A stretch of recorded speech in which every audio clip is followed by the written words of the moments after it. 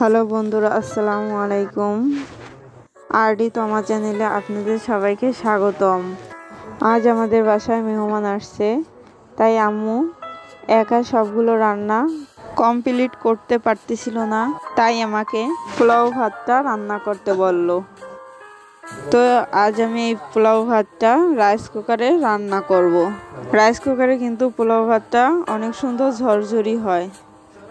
আপনি যদি আমার চ্যানেলে নতুন হয়ে থাকেন, তাহলে প্লিজ চ্যানেলটি সাবস্ক্রাইব করবেন আর লাইক কমেন্ট করে আমাকে উৎসাহিত করবেন। কড়াইতে তেল দিয়ে আমি তেলটি ভালো করে গরম করে নিচ্ছি। তেলটি গরম হয়ে যাওয়ার পরে আমি, আগে থেকে আমি পোলাও চালটা ভালো করে ধুয়ে রেখেছিলাম, এখন সেটি দিয়ে দিচ্ছি। পোলাও চালটা দিয়ে আমি পাঁচ মিনিট চাউলটা ভেজে নিচ্ছি ভালো করে। আমি ভেজে নিচ্ছি কারণ চাউল ভেজে নিলে পোলাও ভাতটা অনেক ঝরঝরে হয়।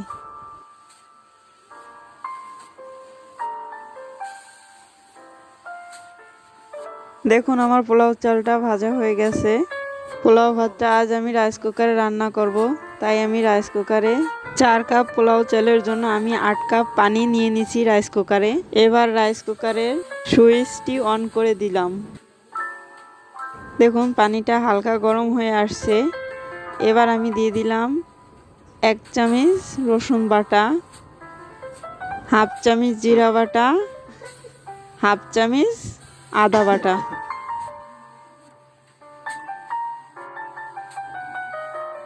এবার দিলাম দুই টেবিল চামচ লবণ।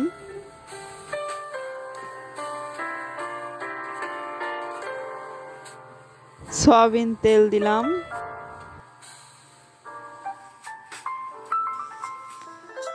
দেখুন, পানিতে জাল উঠে আসছে। এবার আমি ভেজে রাখা চাউলগুলো দিয়ে দিচ্ছি।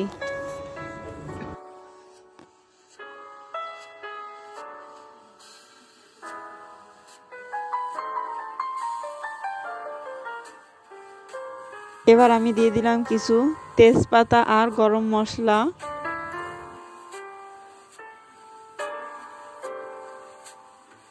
এবার আমি ঢাকনা দিয়ে ঢেকে দিচ্ছি। দেখুন, আমার পোলাও ভাতটা প্রায় হয়ে যাচ্ছে। এর উপরে আমি তিন থেকে চারটি কাঁচা ঝাল দিয়ে মিশিয়ে দিলাম। দেখুন, আমার ভাতটা কতটা ঝরঝরি হয়েছে।